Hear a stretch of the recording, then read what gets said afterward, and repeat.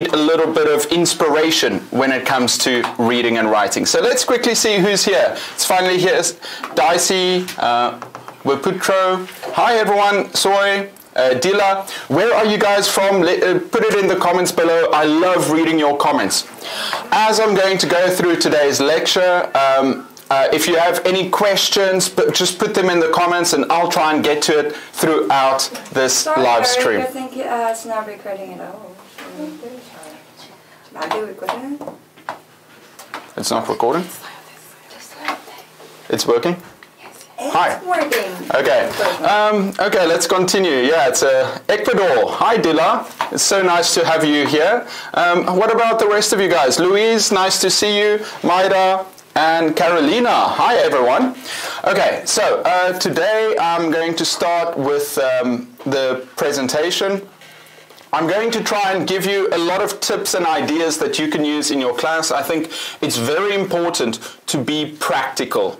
You know, it's it's it's fine for us as teachers to learn about, you know, to to learn the research and to uh, but we need more practical tips. That's what a lot of teachers have been telling me. So that's what I'll try to do. Jose, yeah, nice to see you too. Uh, I'm so happy to be back here. Okay, everyone, let's get started with today's presentation.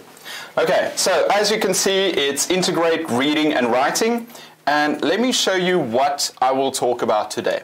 So first I will do a very quick introduction. Then I'm going to give you some games and activities that you can spend, uh, that you can do with reading.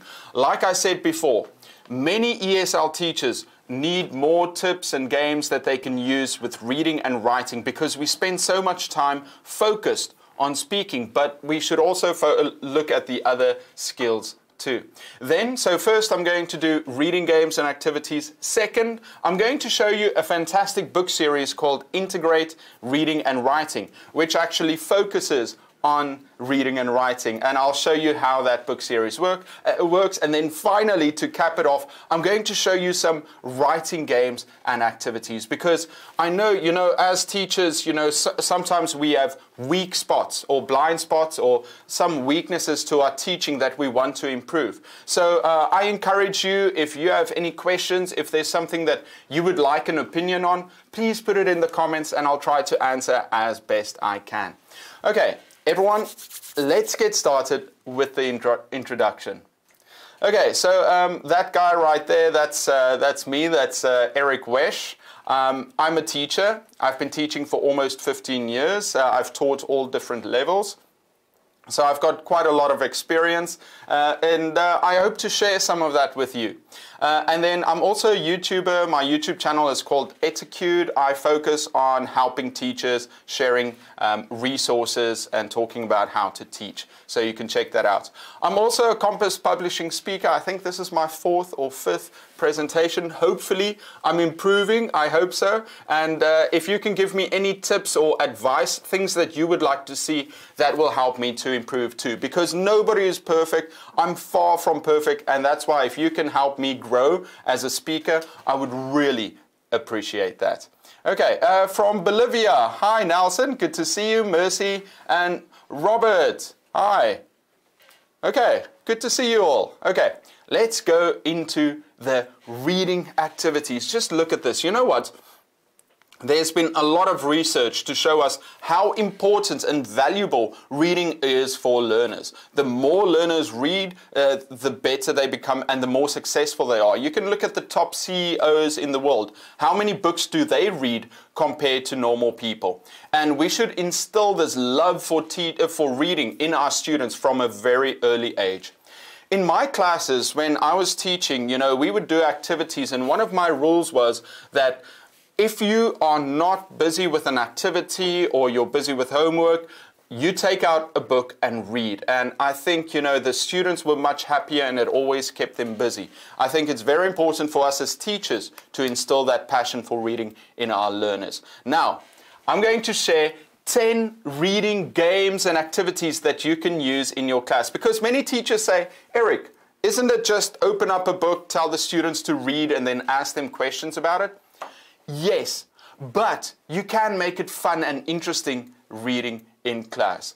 Now, when we look at reading, Um, there are three phases that we're looking at pre reading, while reading, and post reading. Pre reading is how do you mentally prepare your students for what they're about to read? So you can show them a picture, you can show them a video, um, you can ask them uh, what their prior knowledge is of the topic right? You can ask them questions related with the topic, what they're going to learn, to help them understand what they're about to read. I mean, one of the worst things I think that a lot of teachers do is they just expect this, they want to surprise their students with the content, and that's a big mistake. Hi. Karen from Peru. Karen, good to see you, and Angie from Mexico. Yeah, guys, if you have any questions, put it in between. I'm jumping um, between the topics. Yeah, so pre reading, we have to prepare our students for success. While reading is some activities that we can do while reading. So while the students are reading, check their knowledge. If there is some vocabulary, ask them some, some questions about the vocabulary. Um, ask them what the, sometimes I ask my students what the translation is for word because a lot of students, uh, maybe they're a bit shy, they don't want to ask our teacher, I don't know this word. So if there's a word or an expression, I say, oh, does anybody know what this is in Korean or, you know, in, in uh, Spanish or whatever your language might be so that the students in the back that don't really know, they pick it up. And then post reading. Post reading, that is where we see how much our students understood. And it's very important to make sure. I think for us as teachers, you know, for me too, sometimes we give our students instructions or we read something and we think our students understand, but then they don't. Think about yourself. If you are in a meeting with all the teachers and the principal says, Does everybody understand? You say, Yes, because you know you're a bit shy to ask, and then later you ask your the other teachers, "What did that mean?" And it's the same with our students. We should make sure they understood everything that they read before. Uh, Marival, very nice to see you, and Alex from Sri Lanka too. Very nice, guys. Okay, now let me tell you a really fun game that you can play. It's called the Tarantino and the Spoiler. Do you know who Quentin Tarantino is? He's a filmmaker with very violent movies, but something interesting about Quentin Tarantino is that he shoots his movies in different order. Um, a famous movie of that is Pulp Fiction or Reservoir Dogs, where the story is scrambled. And you can do the same with your students. Let's say you have a story like we have here. Um, uh, he's over here. This is Arthur. And so the first um, story that we see, this first part over here, says his work, hard work really paid off. He won. Hmm. So you're starting basically with the end, you're scrambling. So what you can do is you take a story and you cut it up and you mix it. You start reading the end or uh, well if you've got your story you start reading the end and then you can read the middle and then you can read the start and it makes it interesting for the students to start to kind of figure out the story structure so we see here his hard work really uh, paid off uh, he won Arthur was nervous to be in the spelling bee, so he studied hard to be prepared. So then you ask your students, what is the correct order? How should it happen? And the spoiler, what is the spoiler? That is where you read the ending first and then you ask your students, what led up to it? How did we get to this ending? What can you expect? And it makes the students think. This is a really fun activity to get the students' uh, brains working. You know, uh, from Mexico too. Hi, Denise. Um, okay, then the second one is called reading race. Now this is a is a great one. This is where you put students into different teams and they have uh, they sit in a circle and they want to read the story. Let's say one sentence at a time. One student finishes a sentence, then it's the next one, the next one, the next one. As you know, we like these games that are very competitive. So get the students, uh, it doesn't have to be in groups, it can be one giant group. Let the students sit in a circle and then you can time them or you can play music while they go around and try and read. It's a, it's a really fun way. And I think, you know, students love reading out loud. And we can also inspire them to use different voices and to change their, um, their tone, to, to change the speed. And by making it a reading race, it's really fun for them to work on their fluency. Their fluency. Okay, everybody's still good? I'm going through this. The next one, cut into pieces. Um, you take a story, you cut it into pieces, you distribute it to different students, uh, uh to a group. Each student reads a, their part and then they have to figure out how the story works. Uh, another fun way to do it is you combine a reading race with pieces. You cut a story into pieces, put it against the wall, and then the students have to run, read it, come back, and they have to try and uh, fix the story. I think this is a great one because this is where the students collaborate and work together with their reading. It's way more fun than just sitting there and reading the story and asking them. So make your stories a bit more exciting, especially imagine if you are doing a reading lesson and your principal came in or some parents came in to observe you and you're just reading there and it's super boring. But if you take that same concept and you make it fun, your principal comes in and says, Wow, Sandra, that is fantastic. You're such a good teacher. So use these tips, make teaching fun. Okay, number five, uh, scrambled sentences. You know what this is. Everybody's used it, used it before. You take a sentence, you scramble it, and you ask the students to put it back together. This is a, a golden oldie. Yandri, I bet you've used the scrambled sentences before. So, dog likes the to Okay, I think this is a bit shorter. It should be sit. The, do the dog likes to sit. Um, so here is my red hat. So the students are learning, uh, you know, the structure of sentences. This is very good for our younger learners, and it's even applicable to older students too, where you can give them longer sentences and they understand where the adjectives and the adverbs and the nouns, where everything goes. And it's also very useful for time words to understand where the time words go. Okay, everyone, if you've got any questions, put it in the comments. I'm uh, just drinking from my tiny little uh, water here. It's very cute. I love it. Hmm. You know, I feel like a tomato and you've got to water your tomatoes, I think. Okay, number six, misspelled words. Uh, this is really good. You know, sometimes uh, I make mistakes on purpose. So let's say I write on the board, I write a sentence and I make some obvious mistakes. Sometimes I want the students to help correct me because it serves two purposes. Number one, they are seeing some of the common mistakes that they make, and immediately a lot of the students will think, oh, okay, I see the teacher made that mistake, I should fix it in the future. So you can see here tomorrow or coming, and they can start think, oh, okay, this, uh, these are some of the common mistakes. And the second thing that it does is it actually it gives your students confidence because if they see that you are making mistakes, hmm, wow, you know what? if the teacher can make a mistake, I don't have to feel bad about making mistakes. Do you guys understand that? I think that's so important, you know, to give the best to our students.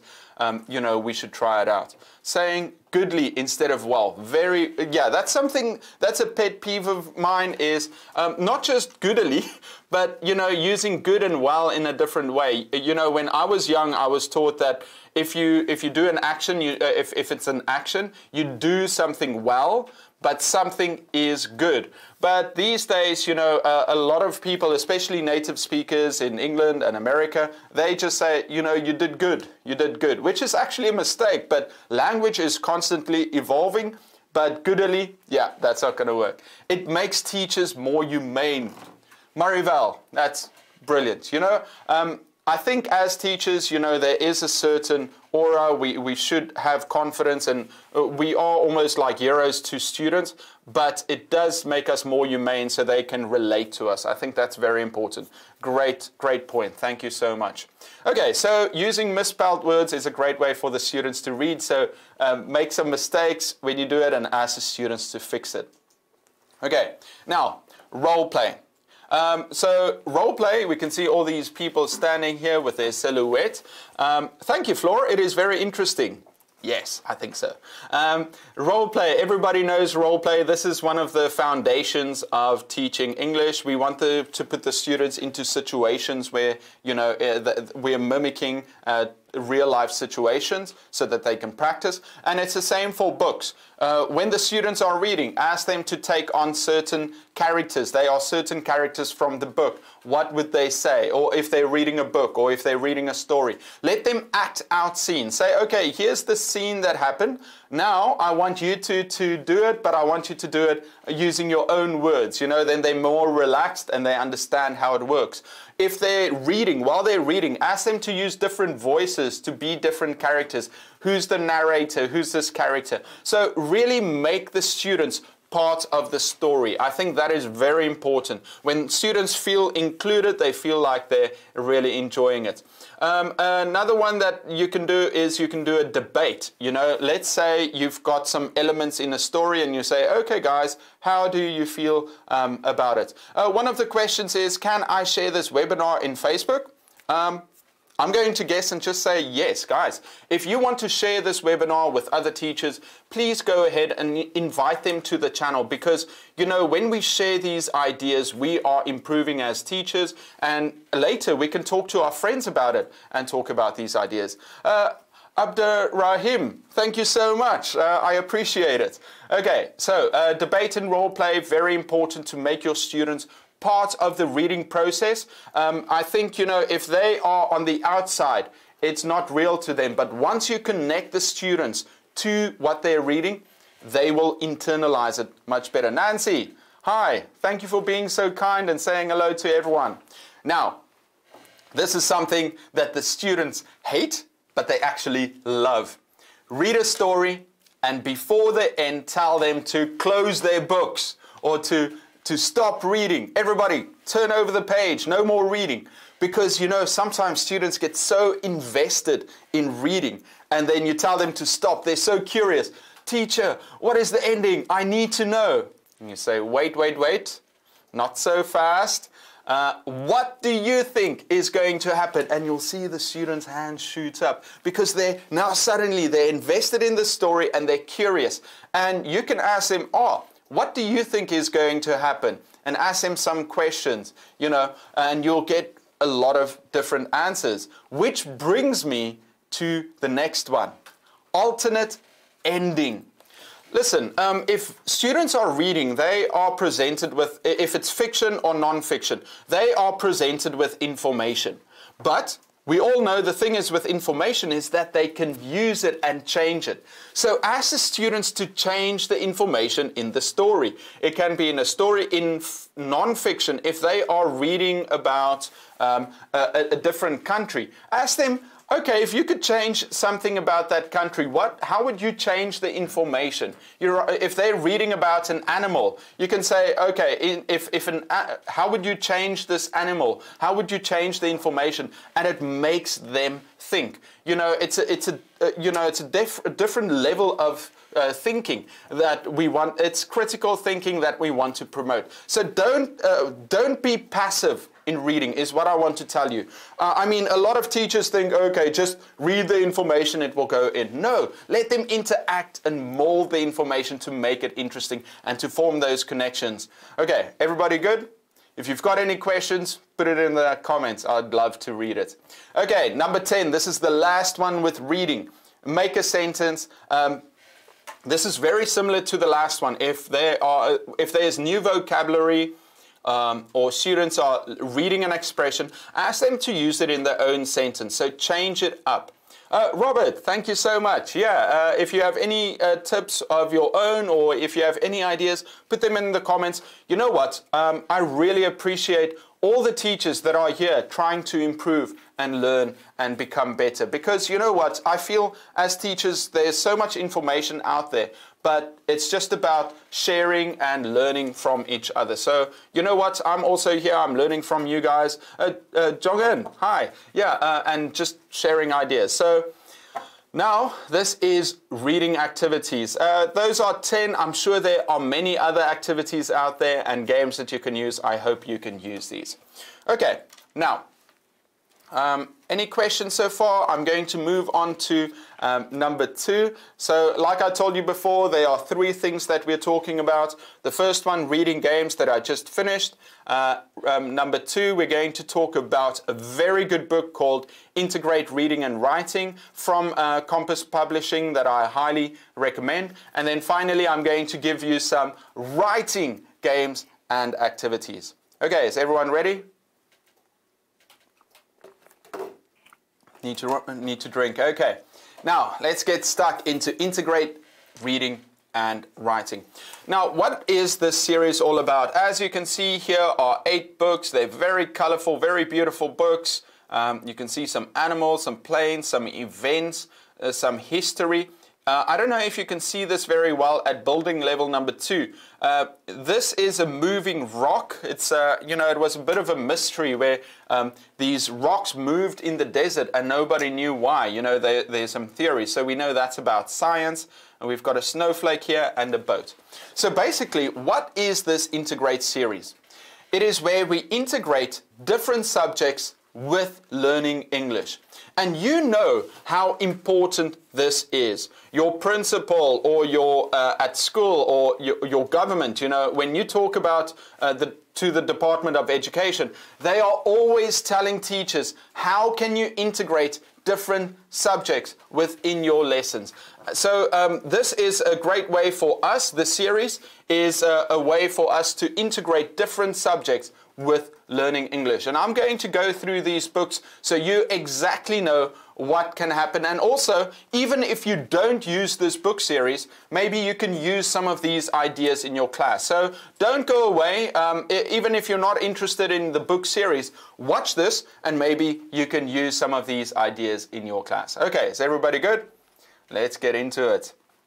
So the general uh, concept integrate is multi-level reading and writing series. It's for beginners to intermediates. Um, it has a variety of formats. What is a variety of formats? That's uh, you know magazine articles. If it's uh, you know it looks like it's a website. If it's a letter. If it's a postcard. Um, you know uh, students need to get used to all these formats. You know, it's so heartbreaking. Um, you know, once, uh, because I teach university students now, and many of them come to me and it's like, Eric, how do you write a letter or how do you write a good email where they have never learned about this? And it's our duty as teachers to prepare our students for, for adulthood right? So we have to make sure that our students are able to use these different formats, and that's what's so great about Integrate Reading.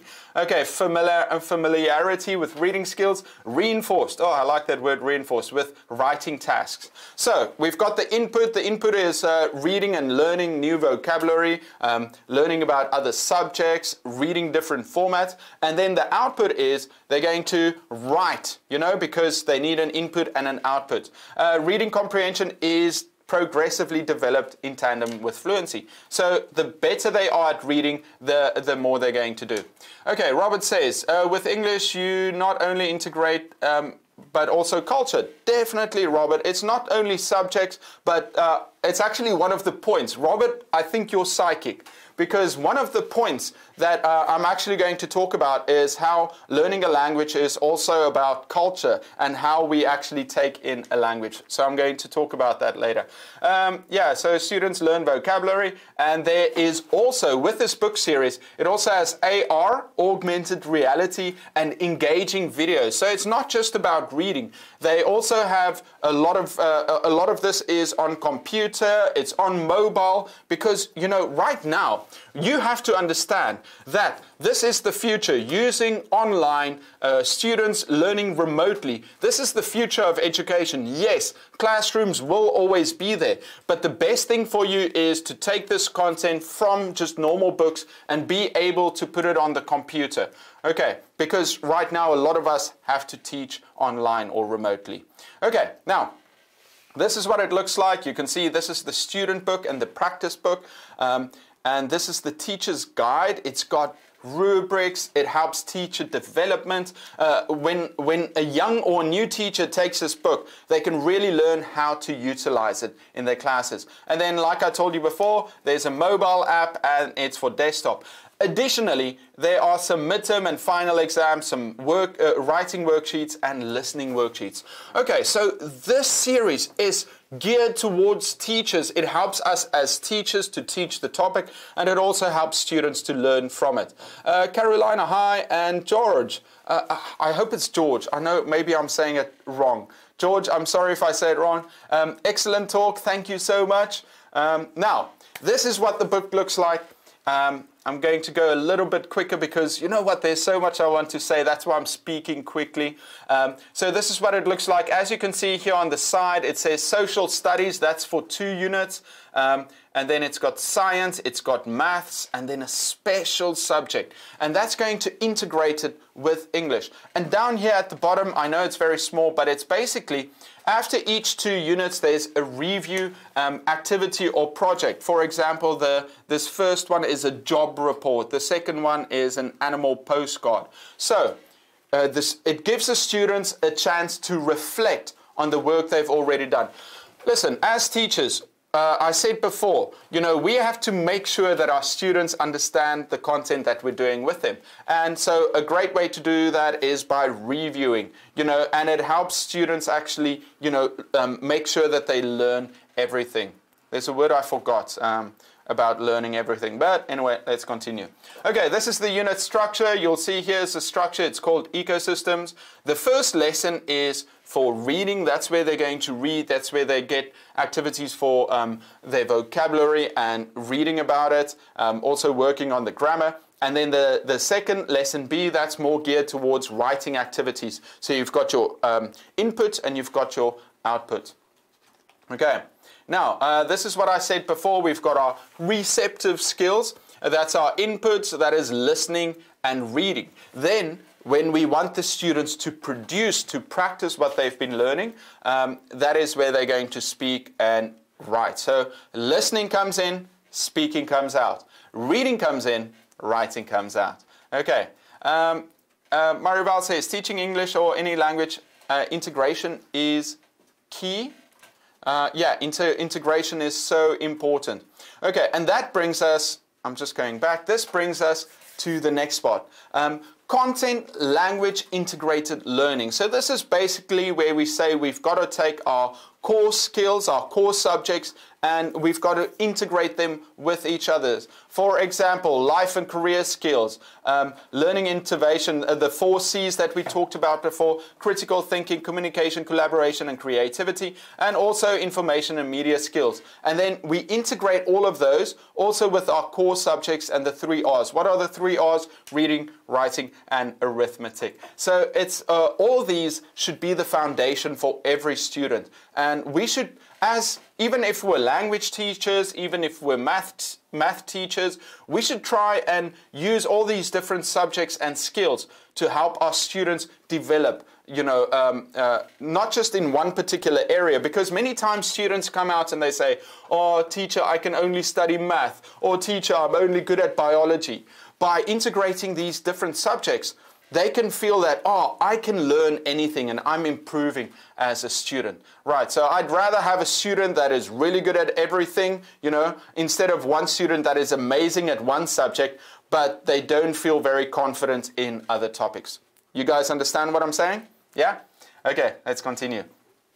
This is what we said before. Uh, we have to integrate our content with our language. So, whatever you're teaching, whatever topic, um, you should find a way to explain and use language in there. You know, you can be teaching any topic um, or any subject, and then you find out, okay, how can we teach the students about the language that's inside there? Okay, if you're teaching, um, you know, chemistry or something, go into the language. You know, how do you talk about these variables and how do you talk about everything? How can you use English in there?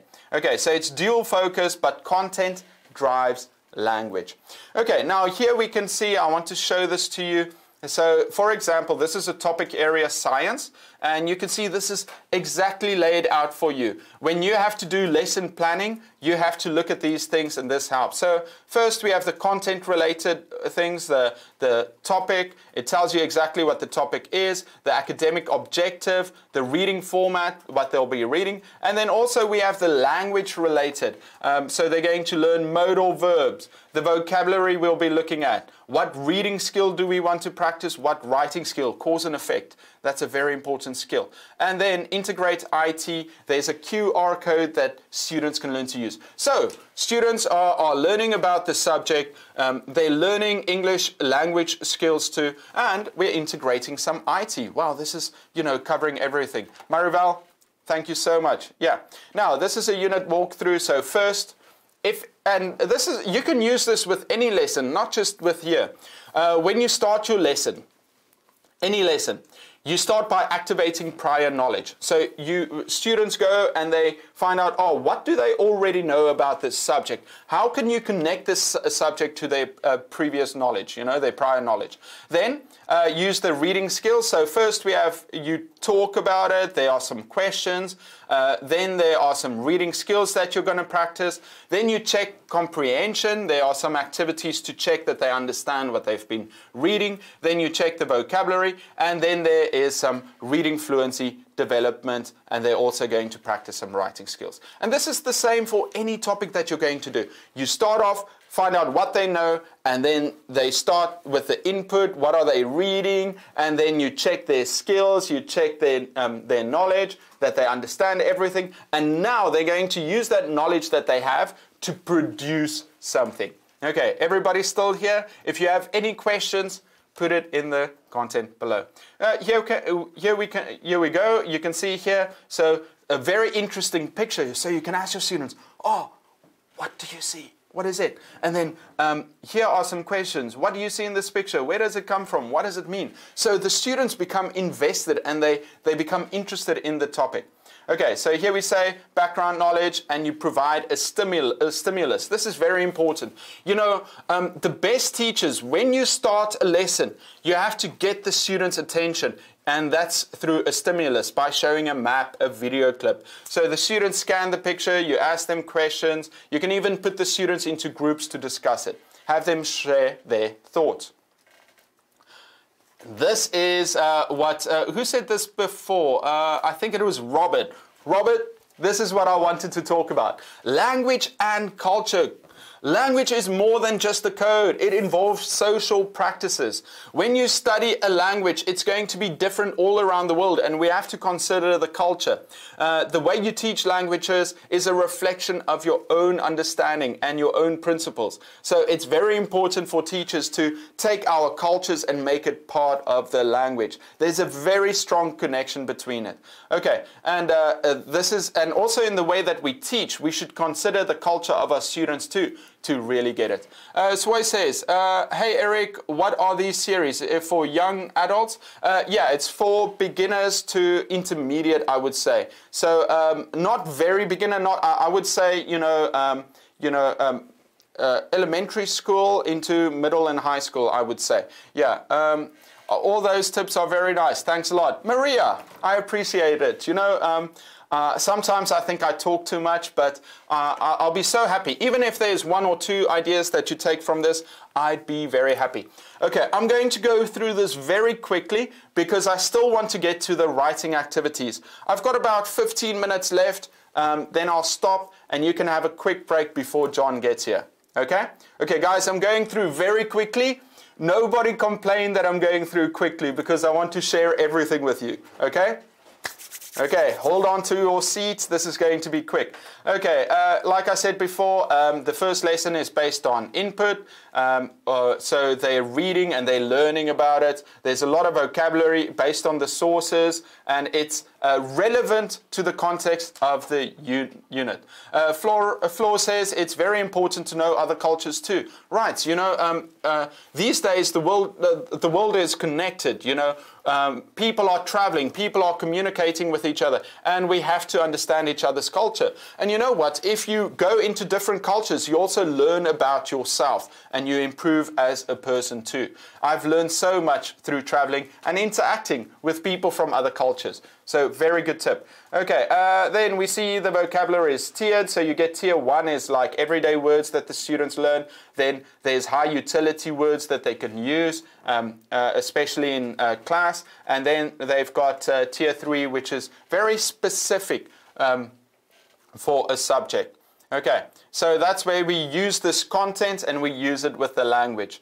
Okay, uh, language, there's a lot of grammar in here. As you can see, we're going to focus on grammar. They're going to learn about it too. Um, And it's also an emphasis on demonstrating the use of the structures. Instead of just reading it, they get to use it in the book. Okay, like you can see here, learning language, using language.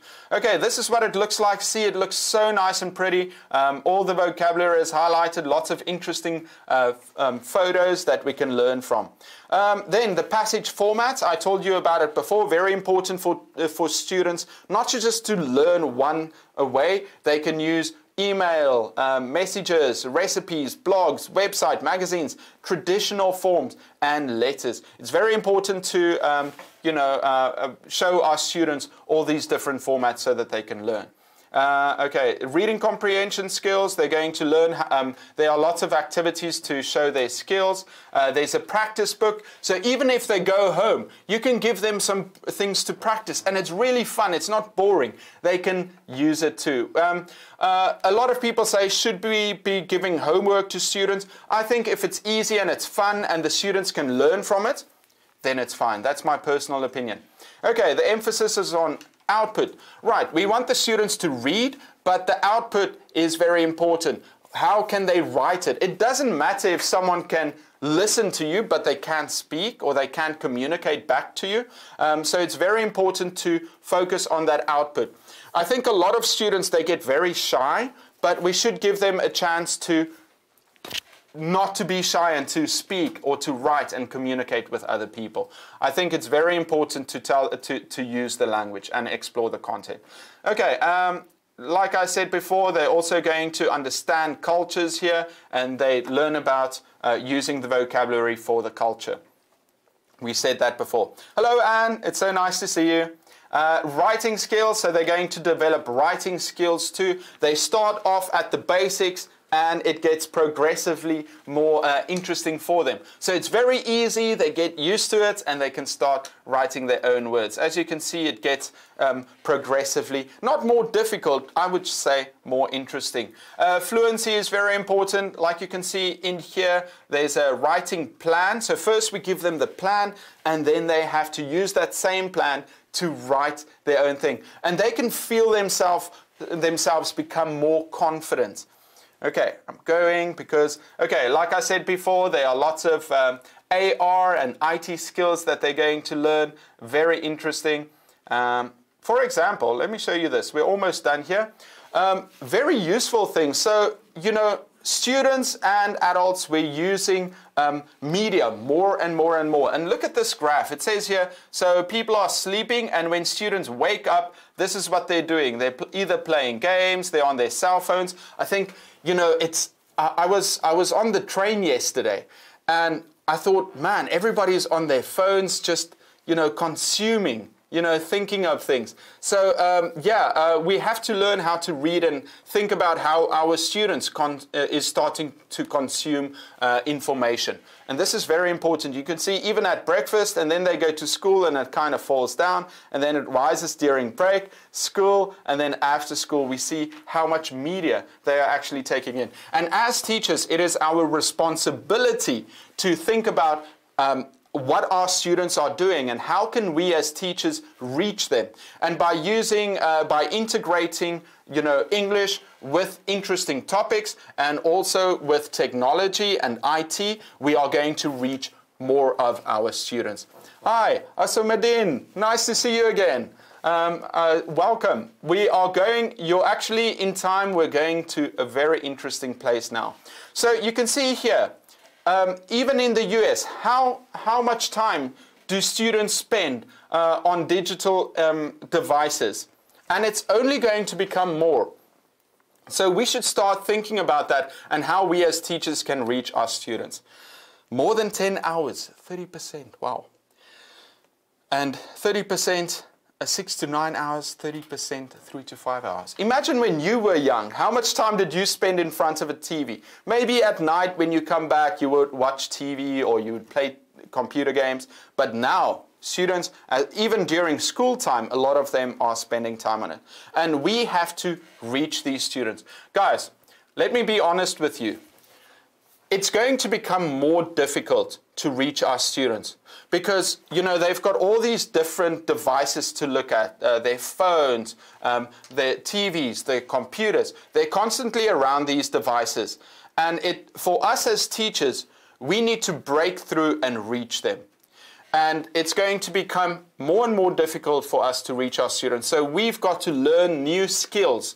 And we've got to learn how we as teachers can connect with our students and get their attention. It's a fight for attention. A lot of people say that each generation has their war. There was World War One, there was World War Two. Um, now, our generation is the war for attention.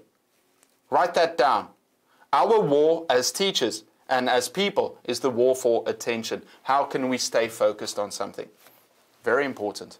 Now, uh, yeah, mobile devices is becoming the norm for content delivery. We as teachers, we need to adapt. Teaching is changing very quickly, you know, and we can complain about it. We can say, "Oh, I, I don't know if I can do online. I don't know if I can uh, can use mobile devices. You know, I want to go back to all reading and uh, and listening to the teacher." No, guys, I'm sorry. We have to adapt. Just uh, accept it and move on. Be the best teacher you can be. So here we say the consequences, you know, we have to start showing them how to think critically and also develop their IT skills and our, our own skills as well. Okay, yeah, we can see this book is fantastic because it does a lot of that work for us anyway. Uh, okay, I'm just going through this. You can see um, there's a lot of uh, creativity, and this is what we want. Uh, so when retention rates after 24 hours, a lecture they retain it for five uh, percent of the time, reading 10%, audio visual 20. If you can, if they can demonstrate it 20, 30%, discussions in groups. This this is why we got to get our students talking to each other. 50% practice by doing. So if they're role playing and talking, 75%, uh, and then if they start teaching others it's 90%. One of my favorite things that I like to do is that I like the students to teach other students when we are reviewing things. Okay, um, guys, this has been the Integrate Reading Series and Writing. Check it out if you want it. It's uh, on Compass Publishing's website. Check it out. Now, writing activities. I've got five minutes left. I'm going to go through this quickly. Um, if you have an urgent question, please put it in, in the uh, comments and I'll try and get to it. Writing should be fun. I'm going to share some activities. The first one, show yourself to the students. Use some of your store, uh, show the students a photo of yourself. This is me. Um, ask them, what do you see? Write a story. What do you think is happening in this? So the stu- students really get invested because they can see their teacher and they can write a story about it. Uh, the students can use their own photos too. You know, this is just a photo, but it is um, it's a stimulus for them to get some inspiration to start writing. They really have a fun time. And if you put yourself as the teacher in front of them, they can have so much fun and they can build a relationship with you. Okay, yeah, that's me on the right and that's my friend. If you don't know, this is, was for Halloween. So yeah, you can get to know me a little bit better too, and that's the same for your students. Next one. Change the view. So ask the students to write a story and say that they are a food, like you're a sandwich or you're food. What is happening around you? Who's going to eat you? How do you feel? Hi, Usama from Egypt. Nice to see you. So you can ask the students to change their perception and their view about things. Okay, next one. Make a rap. Okay, this is where the students can write a poem. This is really fun. You know, Shakespeare and uh, Eminem, you know, all these guys, they are using language in a creative way. And we should try and get our students to do it way too. Uh, Marival, yeah, that's a nice way to introduce yourself. Yolanda, good to see you. Um, okay, so make it a rap or poem. Dip, dip, dip. Did you ever lick a lollipop stick? Dipped it into mustard, did it make it stick? Yeah, have fun with the language. You know, language is not supposed to be boring. We should inspire our students to be creative and have fun with the language. So let them write interesting stories. Uh, next one music speed writing. If you give too much time to your students, they're going to play around, they're going to get bored. So instead of that, tell them, okay, I'm going to play a song, it's three minutes long. You find a fun pop song that they love and say, You've got this song to write a story, and you just see them writing. You know, it's like when you've got um, work to do. Let's say you've got an assignment or there's something that you have to do. And if there's a deadline, suddenly you start working hard. So let's say you've got a week to do a project, and then the week you kind of procrastinate, and then the night before you're just working very hard. And it's the same with this. You know, if you tell them to do something quickly, they will uh, find the, the, uh, the inspiration. Okay, so speed writing, very fun. The next one, animal story. Ask the students to pick an animal. This is very similar to the food story. Um, tell, Tell a story about an animal. What is your dog doing during the day? Your bird. Tell an exciting story about your bird. And this is great because you can make it fiction or non-fiction. If it's non-fiction, you know, they can make a report. If it's fiction, they can create an interesting story. Uh, my dog is actually a spy. You know, they can build it up. Guys, um, language is meant to be creative. You know, sometimes when you give students a topic and one of them just write a, a, fantastic story, it makes you so happy. Now, it's up to you as a teacher to draw that inspiration and that creativity out of them. Okay, the next one, uh, treasure hunt, write random words. So ask the students to write random words, any words. Then they take the words, they fold them up, put them into a box and the students have to pick words. With those words, they have to construct a story. So that's another way to get them. Um, it doesn't have to be about pirates. I mean, they can write down any words and then they take the words and they write a completely new story with it. Great idea? I think so. Okay, the next one, story train. I hope you've done this one before. Three minutes left. Um, so story train, what happens with story train is you put students into a circle, um, let them start by writing a story, say stop, everybody passes the paper on, they read and they continue the story. I've seen some fantastic stories come out of this. Try not to make it too long because then they have to, because they have to read more and more and more and more, you know, uh, but that's so good. So make sure they have a beginning, middle and end. That's another thing I want to mention to you. Um, structure is very important. Make sure to teach your students structure. If it's in speeches, if it's in writing, make sure they understand the structure. Introduction, uh, body, conclusion. Okay.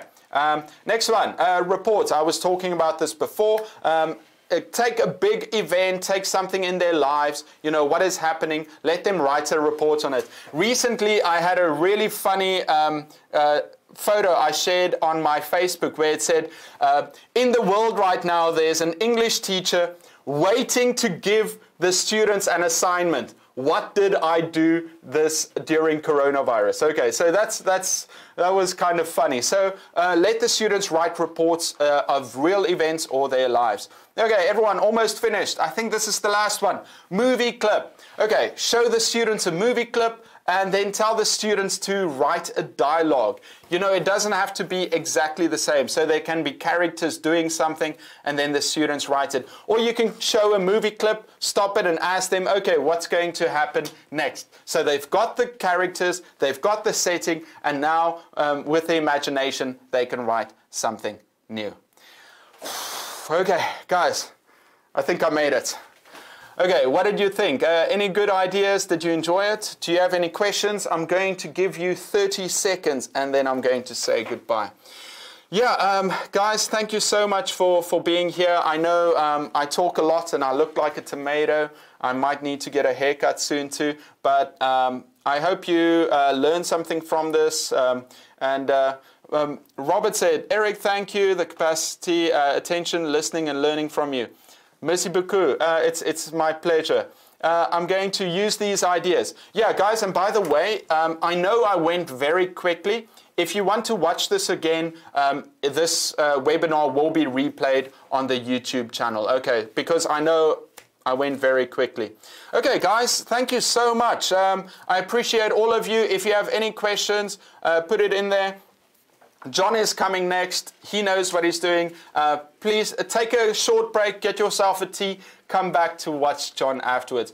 Everyone, have a blessed weekend. Uh, I'm Eric, and um, uh, let me see sometimes the class can, and I'll see you next time. okay, everyone. Bye bye.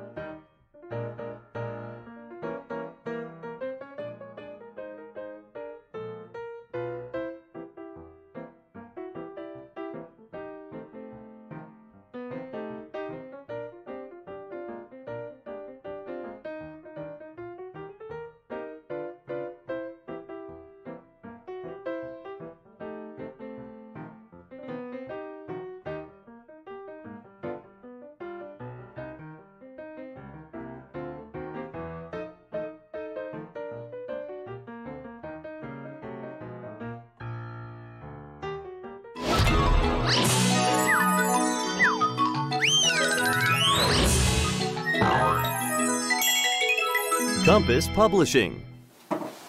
Hi, everybody. Uh, it's John Edwards here. I hope you enjoyed the last uh, presentation. uh, with Eric. Um, welcome to another presentation by me. This is the presentation about teaching grammar. Um, I'm going to be going for about uh, 50 minutes approximately. And uh, if you have any questions, you can always leave them in the uh, in the uh, chat in the chat, and I'll check them periodically. Or we'll have about five minutes at the end of the presentation to uh, to talk about questions as well. So I hope you enjoy the presentation and uh, get something out of it, and uh, let's have some fun. So my presentation is called "Teaching Grammar from Drills to Automaticity." So we're going to talk a little bit about um, some background, just about why we're teaching grammar, and uh, you know a little bit about some of the some of the basic concepts. Then we're going to talk about different approaches to teaching grammar, and um, how to present new structures, and how to practice new structures, and then I'll give you a kind of typical lesson flow. We can talk about the different parts of the lesson, and then uh, we'll talk about how to correct errors with grammar uh, in a grammar lesson. And then I'll talk to you a little bit about um, the New Frontier series and how we approach grammar in that series. So let's, uh, let's begin. So just a little bit of background first of all. So I mentioned this word automaticity in the, uh, the first, at the beginning of the presentation. So what do we mean by uh, automaticity? So if you think about how you um, how you speak your mother tongue, so usually you're not. I would say you're never thinking about grammar. You're never thinking planning your sentences and thinking, oh, I need to use present perfect here or I need to use simple past here. You're not thinking about grammar at all. The language just comes out automatically and even more than that, if somebody says the beginning of a sentence and stops in the middle, you probably know what part of speech comes next and what you can kind of anticipate the structure without even thinking about it. So this is what we mean by automaticity, this kind of internalized, uh, natural, generative uh, ability to produce language without really thinking about it. So that's the kind of the goal that we're aiming for as, as teachers. And how to get there is the hard part. So, you know, for most language teachers, we, we think that, um, you know, teaching grammar in an explicit way is an important thing. But is this how your students react when you say, oh, we're going to have a grammar lesson today? They look bored and they yawn. So right away, students have a kind of negative reaction to grammar. And why is that? You know, we should think about that as a teacher. Why do our, do our students have this kind of reaction to grammar? Could it be maybe we're approaching it in the wrong way? So let's think about how you would teach present perfect. So present perfect is notoriously uh, a difficult um, grammar structure to teach because it's quite complicated and it doesn't exist in some languages, like some languages that don't share a lot of the same history as English. Um, they don't have a present perfect tense, so it's very hard to teach. Like I teach a lot of Korean students, and present perfect does not exist in in uh, Korean, so it's a very hard concept for them to kind of grasp. So how would you teach it? So here's one possibility. This is something that I found on the internet. So this this lesson, you know, maybe if you present this on the board with the the, the form, you know, you can teach them, oh, it, you use the present present simple of has, either has or have, plus the past participle. And we're talking about something that happened in the recent past, in, uh, in a time period that's not finished yet. And it has these different functions, like it's for the duration from the past until now, and it's about an event in the past at an unspecified time, and you can kind of go through all the rules. There's five different rules there. We can we can explain and give examples of each of them, and then maybe we could follow that up with some some uh, written exercises and then some drills. But the problem is, your students already gave up Your students have already gotten lost, they've already given up. So, what is the problem? What is the difficulty with this kind of lesson? It's true, all the information that we're presenting is true, and it's very accurate. It's, you know, we're, we're explaining all of the information very completely also. But the problem is it's not age appropriate. We're, we have not taken in, into consideration the age of our students. And it's probably not level appropriate also. The reason is the language that we're using to explain the grammar, the grammar point is actually above the level of the, the students. Maybe we have to use words like past participle, we have to use words like period of time, and students at that, the level that we're teaching may not be familiar with those kinds of terms. Also, it's not really useful to, to list all of those different rules and to kind of bombard them with a lot of uh, information at the beginning of the lesson. It's not a, not a manageable amount of information to kind of internalize and digest. And also, we're not teaching the, the grammar point with context. We're not teaching, teaching it in a kind of useful context where they can see what's, where, where it's used and why it's used. So we can probably guess that in this kind of lesson, the students won't really acquire the structure. Here, acquire means be able to use it kind of naturally in a, in a, in a, in a conversation in, in their normal daily life. So that's the problem. How about something different like this? What if we presented the, the, uh, the new structure like this? So I've been traveling around the world for a long time, for a few years, and I've been to lots of different countries. I've had the, uh, the great pleasure to visit Brazil and China and Germany and Mexico and Cambodia and Peru. So I've been to those countries. I've been to Brazil. Have you been to Brazil? We could ask our students like this. So this is a very kind of more, it, it presents a context right away. So why, why would this be a better way to present the grammar point? Because it's a manageable chunk, we're dealing with just one use of present perfect. We're just dealing with um, present perfect for experience, not all of them. We're not, not talking about all of the different uses. We're just talking about one chunk of grammar. And the language that I'm using is very controlled. We're not using any, um, any grammatical meta language, no, no jargon, so they can practice the form without knowing a lot of different past participles without knowing a lot of jargon as well. Also, right away, it's contextualized. That means we're, I'm using the structure for real communication, and it's not just mechanical. I'm, I'm telling them about my real experience, and we're using the structure to, to communicate. And most importantly, there's no grammatical, grammatical um, meta language. I don't have to talk about past participle, I don't have to talk about period of time, I don't have to talk about all of these things. So the, the students can intuit and use the meaning, the, the form from the context. So that's just a little bit of background, and, and now let's talk about some different approaches to teaching grammar.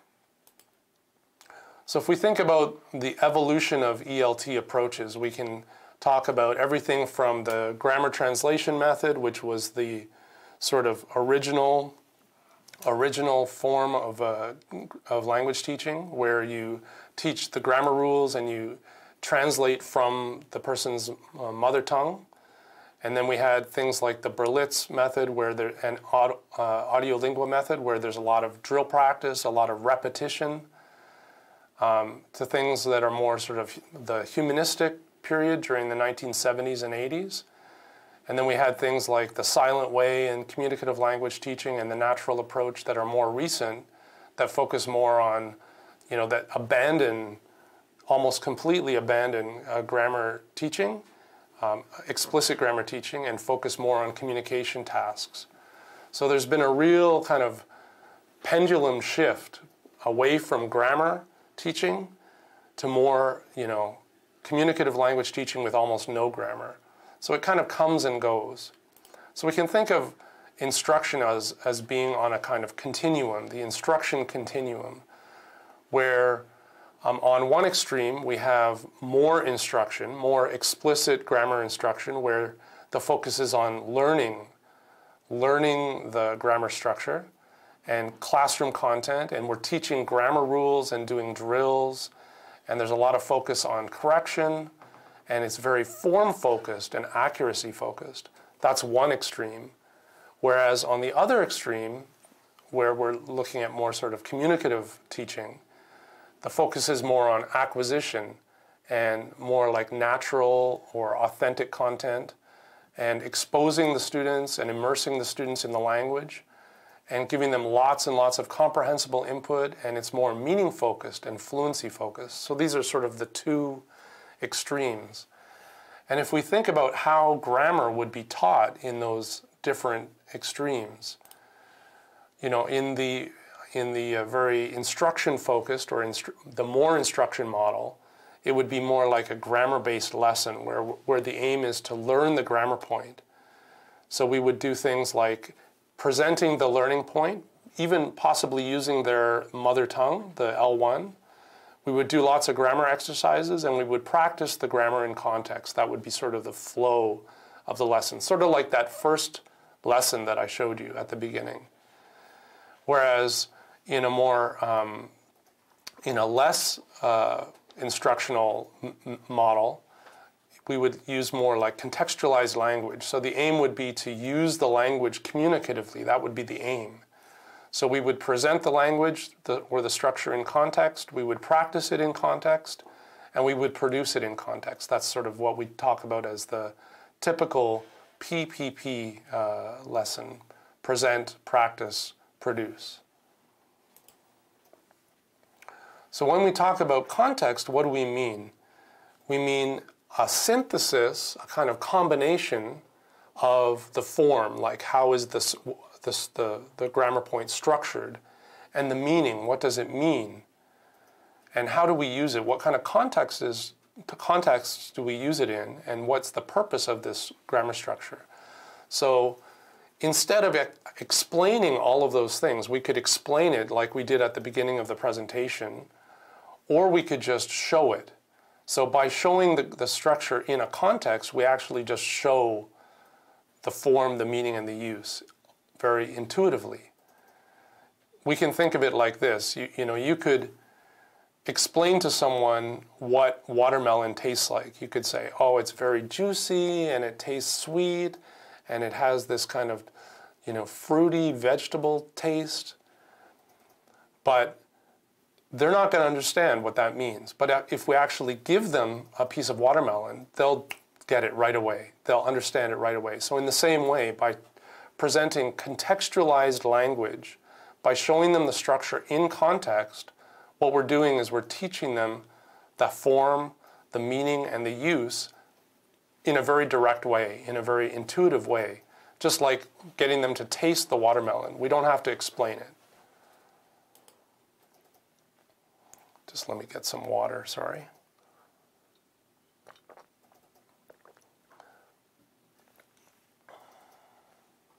Okay, presenting new structures. So we talked about PPP, right? Present, uh, produce, and present, practice, produce. So this is the present part. So presenting new structures. So we can talk about two basic approaches to presenting new structures. One is called the deductive approach. And in the deductive approach, what we're doing is we're moving from rule to examples. So we explain the rule first. So maybe I could teach something like this. We put so in front of an adjective, and we put such in front of a article, adjective, noun combination.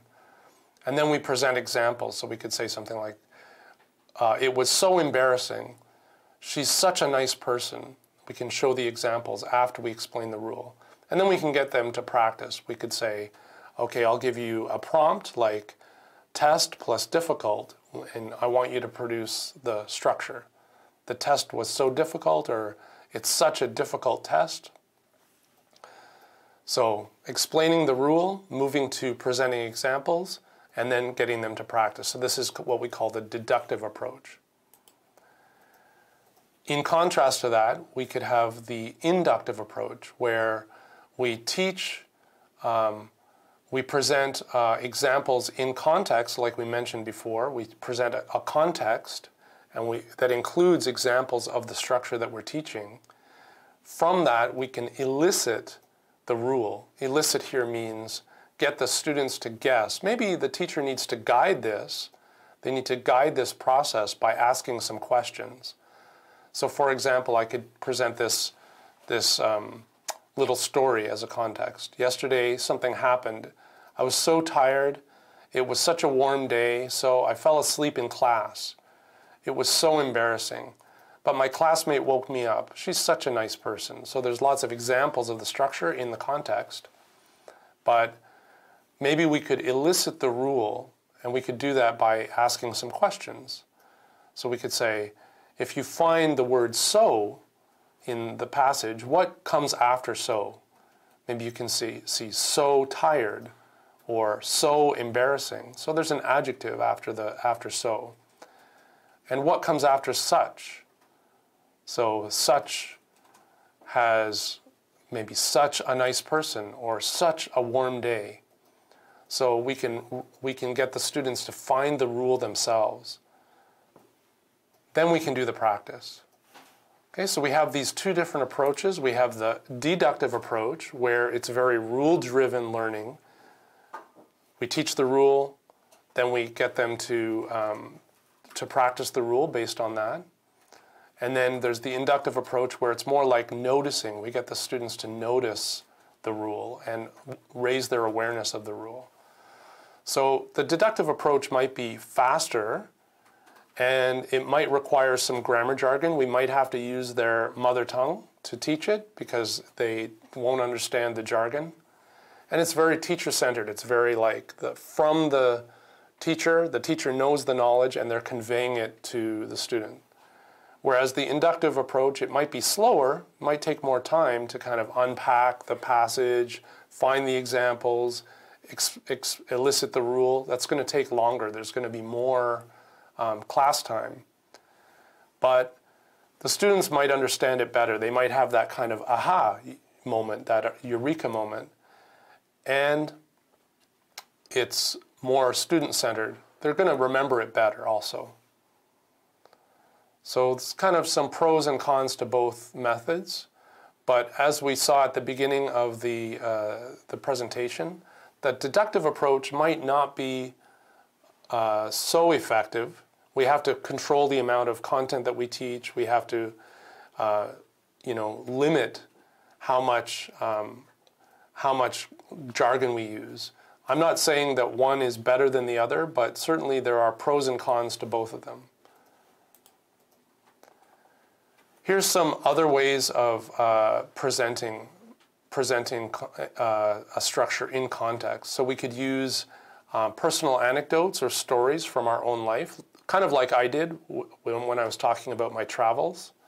We could bring in realia uh, into the classroom, real things. We could bring a newspaper. We could bring uh, a hair dryer and talk about talk about what it does. Depends on the grammar structure we're teaching.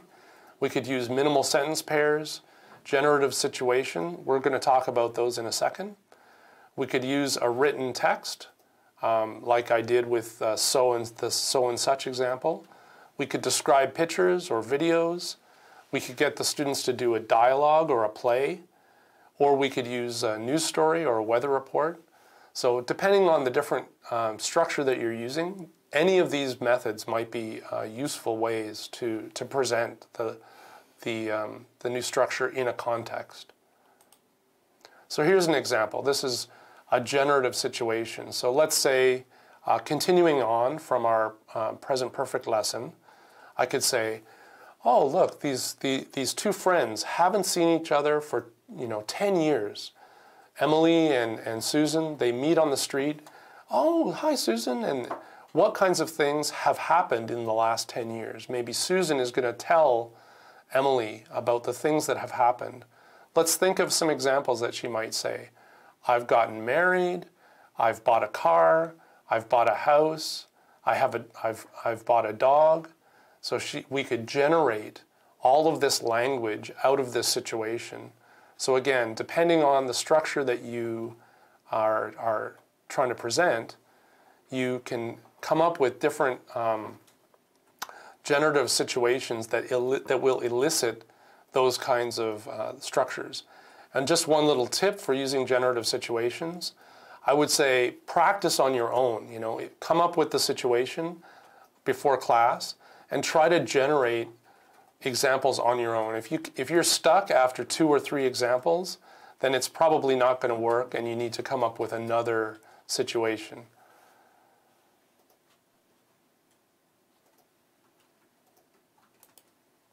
So here's another example using um, minimal sentence pairs, again with uh, present perfect. I could show these two contrasting sentences and elicit from the students what the difference is. So if I say, for example, I lost my phone and I have lost my phone.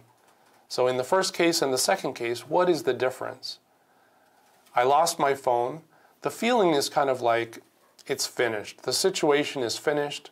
I've given up. My phone is gone.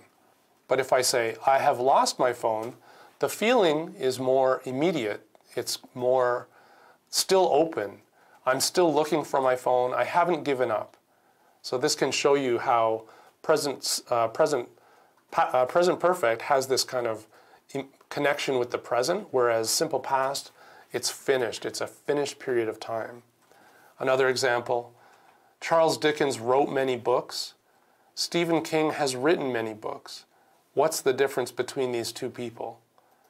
Well, why do we use simple past to talk about Charles Dickens? Because he's dead. He's not alive anymore. So again, this can show you present perfect means um, present perfect means the situation is still continuing and there can be more books by Stephen King because he's still alive. That's why we use present perfect.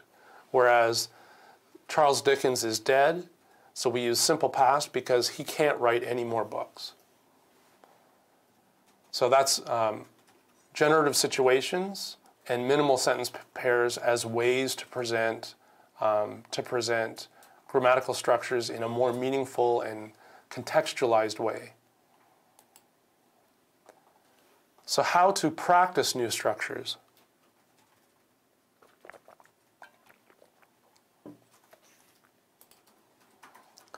So we have we can think about sort of three different um, types of activities or types of exercises that we can get students to do in order to practice um, practice new structures. So one is uh, recognition exercises. These are very simple exercises and they don't seem like they're really teaching something to the students, but the purpose is to get them to raise their awareness and to see the structure in a context. So the purpose here is to get students to pay attention to a grammar structure in context, and they're important for raising awareness of students. So an example would be uh, listen to a passage, listen to me read a passage, and just put up your hand every time you hear so, or every time you hear simple past, or every time you hear present perfect. Or read a passage and underline or circle the present perfect. Very simple um, type of act- activity, but it's important, especially as a first step. Then we can kind of, um, in terms of practice activities, we can categorize them into two types. One is restricted use practice, and the other one is authentic use practice. So, restricted use practice is more like it's also known as mechanical or very controlled use. And the, the main point is to drill the students to get them to repeat many times the key structure and to pay attention to the form. So the, the aim is accuracy, the, the focus is on accuracy. So we could do things like substitution drills or transformation drills. There's, it's not meaningful at all. It's just repetition of the structure. So that doesn't mean it's bad. It's very, it's, it's good to kind of build that um, you know, build the, the, that uh, rep, the structure into their. Basically, we're creating pathways in their in their brain to be able to produce that structure without thinking about it. So lots of drill practice, just like when you're learning the piano, you have to play the scale many times. And it's not beautiful music, but by playing the scale many times, you get your fingers used to playing those keys in a certain order, and you build up that pathway in your, in your brain to be able to control your hand in a certain way. In the same way, we get the students to um, do these drills over and over again to build those pathways in their brain. The, uh, the other type of grammar practice is called authentic use practice. This is more meaningful, and we're, we're aiming to get them to use the structure to produce or to exchange meaning. So the focus is on communication. And this is, um, in the process of, of doing this, the students are going to learn how the structures are used in a certain context. They're going to kind of build that feeling or that kind of automatic recognition. So when that situation comes up in real life, they're going to know um, which structure to use kind of intuitively. So we, both of those things are important. Restricted use builds that familiarity with the structure, with the form, and authentic, use builds the familiarity with the situation or the, the, the practical use. So restricted use activities, like those kinds of drill-like activities, they might be boring, um, not interesting for students, but they're important to develop accuracy and automaticity. That means like producing without thinking, producing the, the structure without thinking. So repetition, rep, repetitive oral drills like listen and repeat. You could say like, uh, let's practice the present perfect. I'll give you the subject and a verb. I want you to just make the present perfect sentence. Like, I gone, I go. Then they can say, I have gone, or I, uh, he wrote, write, he has written. They can just do this kind of very repetitive drill. Or substitution drills like the form uh, form the same structure with slight changes in the content. Or doing written exercises like a, like a worksheet or grammar activities or grammar games. Authentic use activities are things where students are activities where students express their own ideas and talk about their own experience. So it's more personalized and it's more about expressing meaning. These are these should always include things like um, information gap. So that means one student has information and the other student is lacking information, so they have to exchange uh, some ideas. It should also include choice. The students should have a free choice about what to talk about. And there should be some kind of feedback, like if they're talking about talking to a student, there should be opportunities for the, the other student to ask them questions, for example, or respond to their uh, respond to what they say. This is how we develop um, conversation strat- speaking strategies. So this develops uh, fluency, and as I said, it also develops their familiarity with the, the use or the purpose of the structure. So things like examples include things like interviewing, role playing, problem solving, group discussions, things like this. So here's a typical grammar lesson flow. So we would have a, start with a warm up. This presents the students with the prepare the students for the lesson and generate interest in the topic and activate their schema or their prior knowledge and review any kind of known language, language they might have already covered in a previous lesson. Then we move on to the presentation stage where we're introducing the new language structure. And as we, as we mentioned before, context is very important. So presenting the, presenting the structure within a context, within a meaningful context. So I talked about my travel experience, or you could talk about a story, or you could present them with a picture and talk about it. Provide meaningful listening and reading input, and the goal is to focus the student's attention on the new structure and to help them gain general understanding of it. So that could maybe start with one of those recognition activities that we, we talked about before, like find and circle the present perfect, or put up your hand when you hear the present perfect. Then we move on to the practice stage, starting with restricted use practice. So the students would manipulate the structure and internalize what they're learning to develop some kind of proficiency with it or develop automaticity with the just with the form of the structure. So we would guide the practice with some scaffolding. So scaffolding here means some support. So maybe like a sentence starter or like a substitution table, this kind of thing.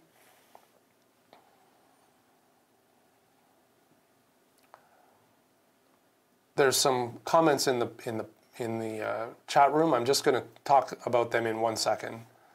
Um, when we're doing restricted use um, activities, we want to make sure that we do error correction to focus on, on accurate production of the new structure. And this, the whole purpose here, even though it's not real meaningful communication, it's that kind of that drill practice prepares them for real communication. It gets them familiar with the structure so they don't have to think too much about how to make the structure when they move on to real uh, communicative, uh, authentic use.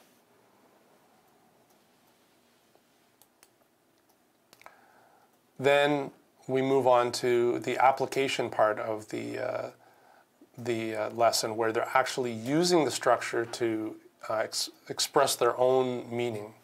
So they, you shouldn't move on to this stage until you feel your students are kind of comfortable or confident in producing the structure itself.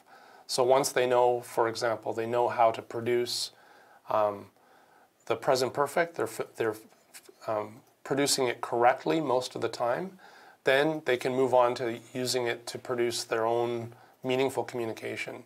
So this kind of context should be personalized and as realistic as you can make it within the, the limitations of the classroom.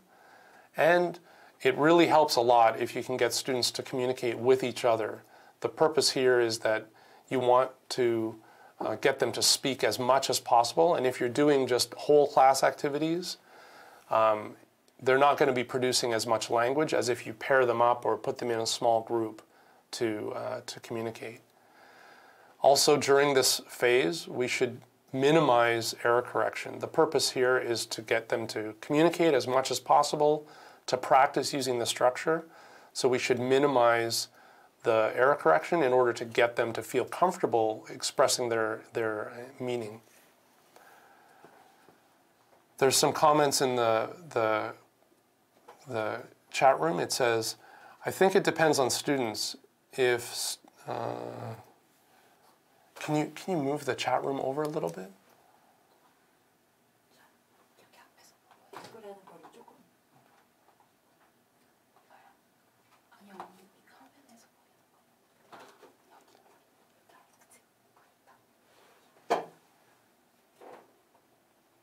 Okay, I, I can't read the comments right now, but I'll, I'll move, I'll just move it over again. Hold on one second. That's okay. We'll talk about them after. So the next, uh, the next stage is, uh, the final stage of a grammar lesson would be to extend. So extension means giving them some kind of uh, communicative activity to, to practice and apply the uh, structure for um, additional practice and to enrich and consolidate their learning.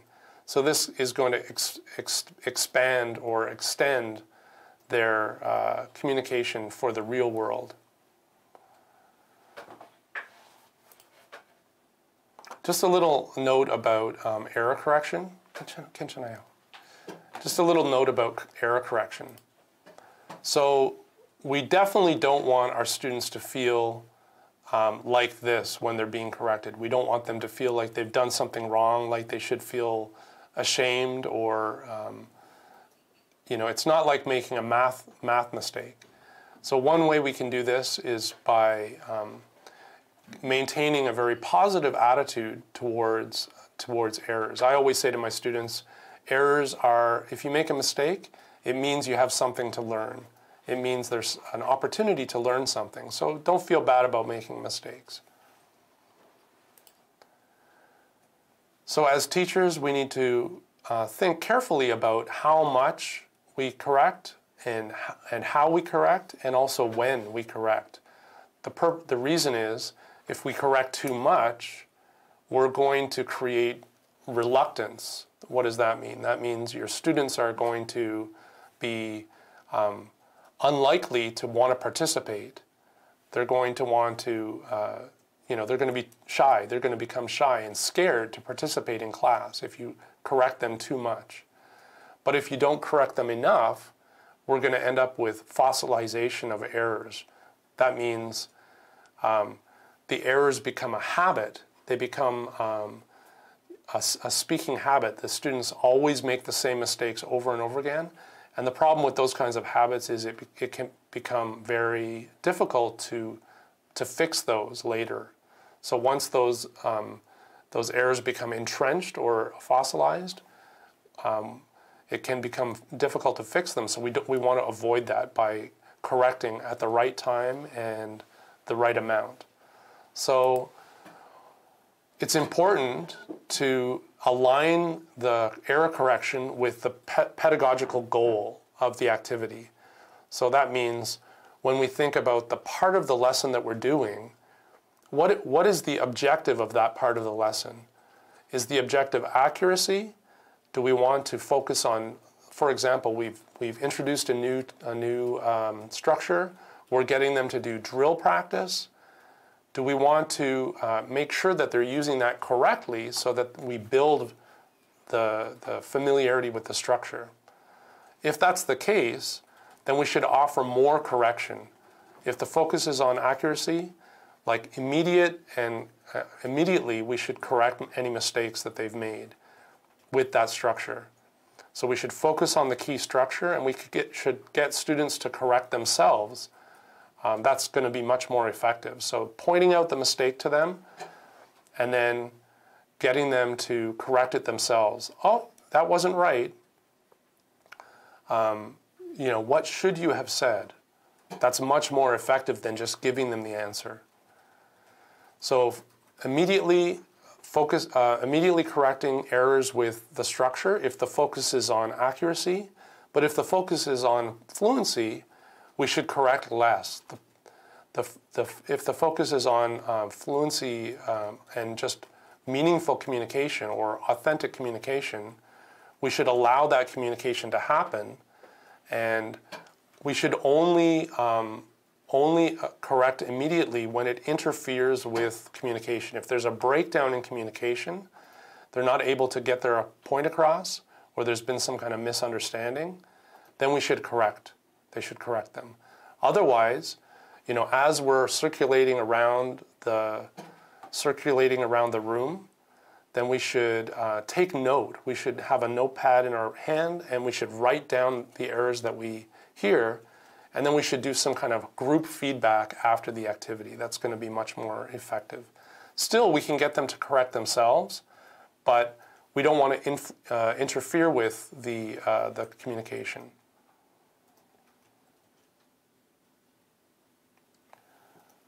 Guillermo asks Should we teach grammar for college students um, or have them to discover. So I think in, in all cases, uh, discovery learning is going to be a more, myself, I think it's more effective. It's a more effective way to teach, but you, you need to um, build up your familiarity as a teacher. You need to get comfortable teaching like that.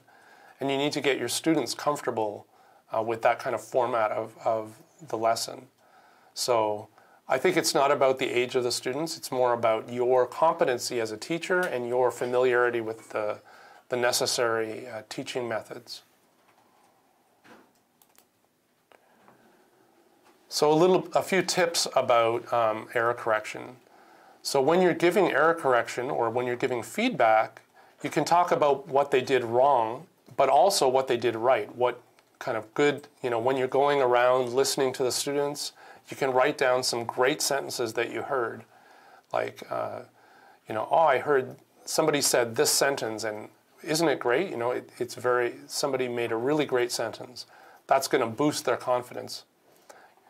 Also, maintain a positive attitude towards errors. Like we talked about before in your classroom, you should never make students feel like they've done something wrong. That's not the point of error correction.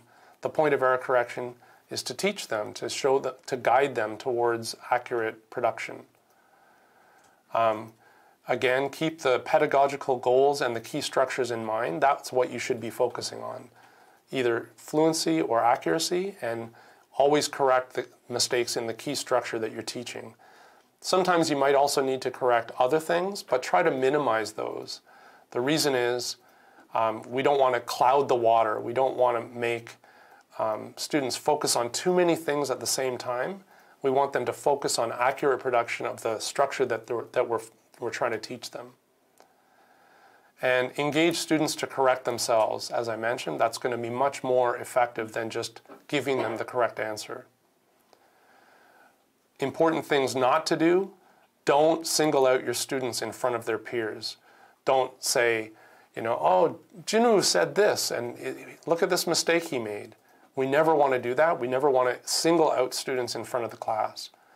One way to avoid that is to, um, you know, when you're circulating around the classroom, you can, um, if they're doing pair work or small group work, then you can give them error correction directly. But if you're doing a whole class, um, you know, uh, error correction session, you can just write the, pass, the uh, error that you heard up on the board and not mention any names. Just say, I heard this sentence, how can we correct it? Marivel says, yes, make error correction a learning experience for everyone. Yes, exactly. This correcting method is much better for communicative approaches, definitely. And another important uh, point to make about error correction, don't interrupt the flow of communication, especially when the focus is on, um, on authentic use activities, on fluency building and have the students rep- repeat the corrected version. So after they correct it themselves, you can say, okay, everybody, let's say it out loud and get them to all uh, say the correct sentence. So that's my presentation about uh, error correction. Now I wanted to talk a little bit about uh, New Frontiers, which uh, is our um, English course, coursebook series for teenagers and it goes from beginner to upper intermediate level. So it's a six level ELT course book for secondary school learners. And I think the covers are very beautiful. Actually, this is one thing I really like about the, uh, this course book. The design is amazing. I think our designer did a really good job. So there's six levels, and they go from uh, A1 level to B2 level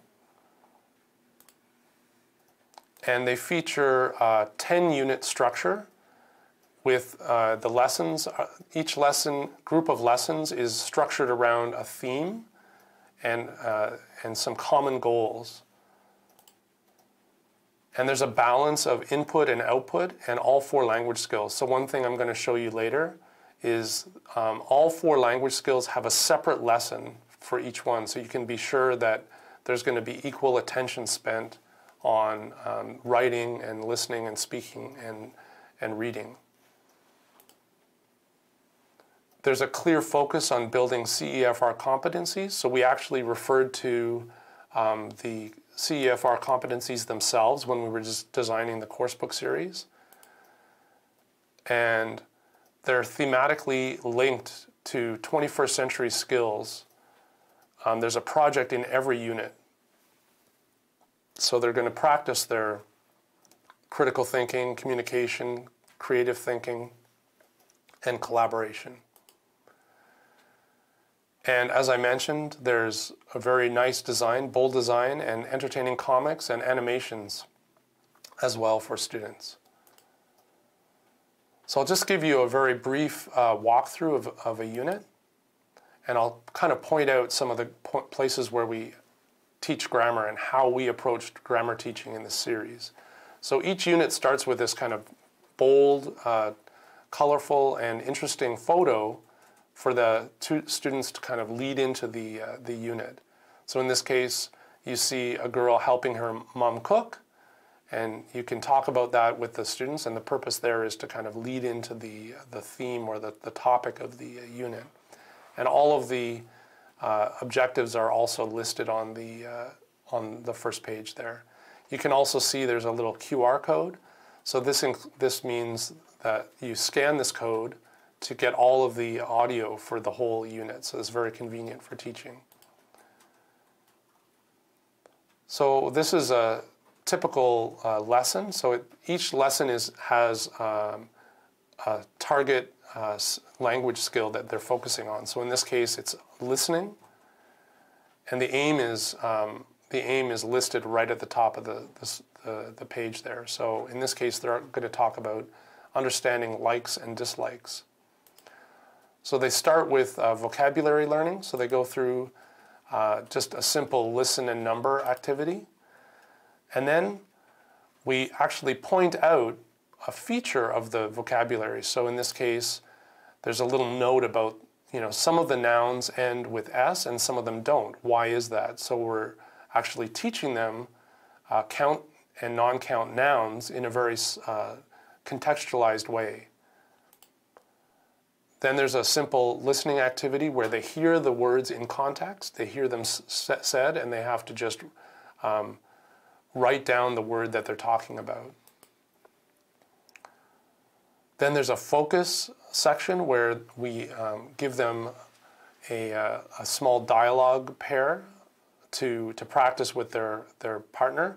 And the purpose here is to kind of get them, get them used to the structure and get them kind of practicing the structure in preparation for the listening activities.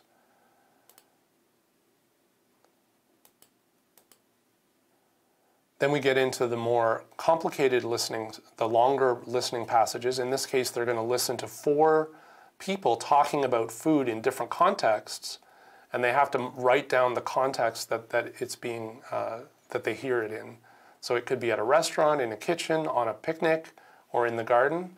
They're going to hear um, the speakers at, in those contexts talking about different foods, things they like, things they don't like, and they have to just write down the context. And then they have to listen for more specific words. And then they're listening for the key, the key point of the, the, the dialogue. So in this case, what is the speaker actually talking about? What is it that they like or what they don't like?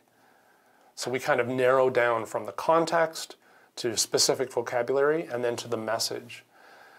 And then we know that a lot of classrooms have uh, mixed level students, so it's not a consistent level of the students. So we wanted to make sure that each lesson also includes a more challenging um, element as well. So we have this uh, challenge section. It's going to be a little bit longer, a little bit more uh, natural, authentic language but it's going to have the same kind of learning points and the same kind of uh, basic structure that they've already gotten familiar with. So it's in order to, to challenge those more, those more um, comfortable, those students that are more comfortable with uh, the language already. So then we take the students through uh, the other skills as well. So there's a reading section. So in this case, it's all about, uh, again, exposing them to more countable and non-countable nouns. In this case, talking about um, getting getting them ready to do a reading about street food. So they have a pre-reading activity where they generate um, discussion about what they already know about these uh, th- these types of food, and then they read all about uh, street food in different parts of the world. So there's Peru, ceviche in Peru, one of my favorites and halo halo in the Philippines and guabao in China. And then there's a reading comprehension activity. And then there's personalization activity at the end. So we take them through all four skills and we are gradually expanding the, the, on the, the grammar structures. So they've already learned the basic concept of um, all already learned the basic concept of countable and non-countable nouns. Now we start introducing it in other types of uh, expressions. So in this case, they're going to learn about speaking for ordering in a restaurant, and they're going to use countable and non-countable nouns in the context of those expressions. So we give them uh, a range of different expressions that they can use for ordering, and this time we're teaching them how to um, quantify non countable nouns. So you can see they're learning this, uh, but there's no meta language, there's no jargon that they need to. We're contextualizing it within this, uh, within within this situation, within these structures.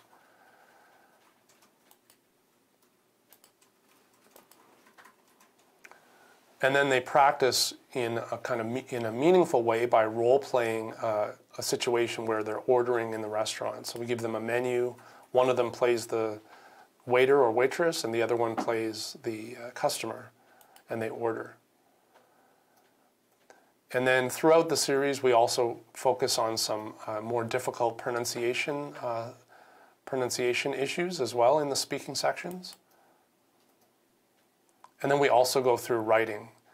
So in the writing section, because we're focusing uh, on them, you know, in, in each in each unit, we also have at least one uh, lesson where there's explicit grammar instruction as well. So in this case, this yeah, this one was learning about. Sorry, this one was um, explicitly teaching them about um, non-count and non-count nouns and how they work within uh, different different kinds of structures, and how to pluralize and how to use them with different ex- ex- expressions. Then, as I mentioned, each uh, unit also has a project uh, lesson. So the project lesson starts by reviewing all of the um, content that they've already learned about different situations, different contexts, different structures, different vocabulary. And the way that we do that is by presenting them with a video. So the video encompasses all of the learning that they've already, uh, they've already gone through in the previous four lessons.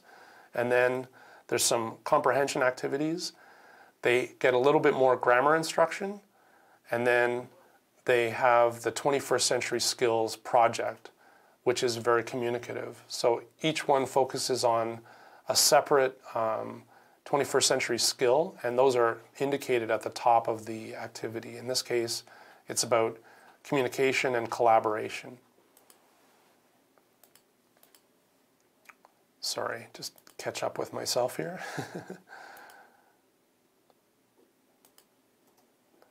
so, in terms of the components, uh, the student book, full color workbook, there's a very detailed uh, teacher's guide with uh, class notes, uh, teachers, teacher talk, expected answers, answer key, and transcripts all embedded. And there's a full range of downloadable material that you can get from our website. There's an answer key, word lists, all of the MP3 audio is available, um, word tests, transcripts for all the listenings, um, tests, a full range of assessments, midterm, final, unit tests. There's a, also digital components that you can, you can get as well. So this, just in summary, this focuses, uh, this series focuses on CEFR competencies. It includes 21st century skills instruction. It has project-based learning in every unit. It has a communicative approach and it has a balance of all four language skills. So that's our series for teens, New Frontiers. So if you want more information about New Frontiers or about any of our ELT products, you can visit our website at compasspub.com. And if you click on, if you search for any of the series like New Frontiers, you can get sample units from any of them and you can see more information about them. So that's the end of my presentation. I hope you found that interesting. I hope you uh, got something out of it and you learned learned a little bit more about how to um, how to teach grammar. And I hope uh, you try out some of those techniques and some of those uh, theories in your classroom. Do you have any questions?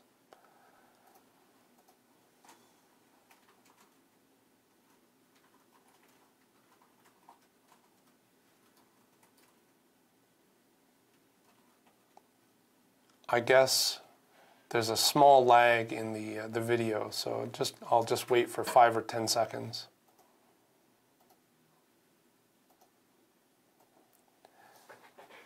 Anyways, I guess there aren't any questions, so um, thank you very much for your attention again, and I hope to see you guys at the next presenta- presentation. Have a great day.